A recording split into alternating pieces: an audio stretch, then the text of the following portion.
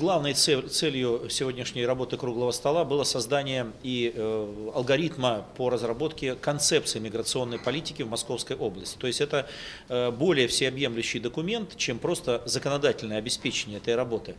Эта концепция будет разрабатываться в рамках э, концепции, которая есть уже и принята на федеральном уровне концепция э, реализации миграционной политики в Российской Федерации до 2025 года, она предусматривает период.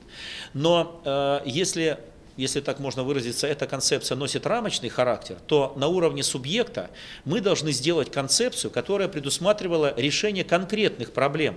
И вот сегодня как раз круглый стол, он и обозначил круг этих проблем, которые должны и лечь в основу этой концепции. То есть, условно говоря, мы должны сделать более конкретный документ и сказать, что проблемы здравоохранения мы будем решать вот таким образом, проблемы контроля над миграцией таким образом, проблемы взаимоотношений с работодателями, э, контроля судьбы последующей мигрантов после получения патентов следующим образом. То есть и уже определить конкретные ведомства, э, министерства, которые будут отвечать за реализацию того или иного направления этой концепции.